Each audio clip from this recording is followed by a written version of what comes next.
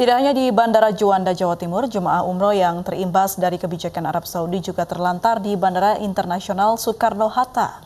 Mereka baru diberitahu penerbangan ke Arab Saudi ditutup pukul 12 siang tadi.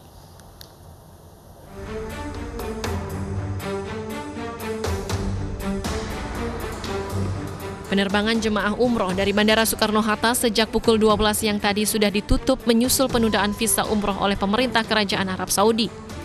Jemaah umroh pun menumpuk di Terminal 3 Bandara Soekarno-Hatta. Kamis bahwa semua penerbangan menuju ke Saudi per pukul 12 sudah di close dengan adanya instruksi dari Kementerian Haji dan Umroh di Saudi Arabia. Informasi penutupan keberangkatan ini diungkapkan oleh Novi, jemaah umroh yang sedianya berangkat dari Terminal 3 Bandara Soekarno-Hatta. Di media sosial juga beredar sebuah video yang menunjukkan tim kesehatan Kerajaan Arab Saudi memeriksa jemaah umroh satu persatu di dalam pesawat. Pemeriksaan ini menyusul semakin merebaknya virus corona yang telah memasuki kawasan Timur Tengah.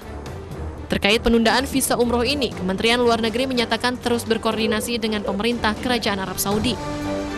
Indonesia termasuk dari 22 negara yang visa umrohnya ditunda oleh pemerintah Kerajaan Arab Saudi.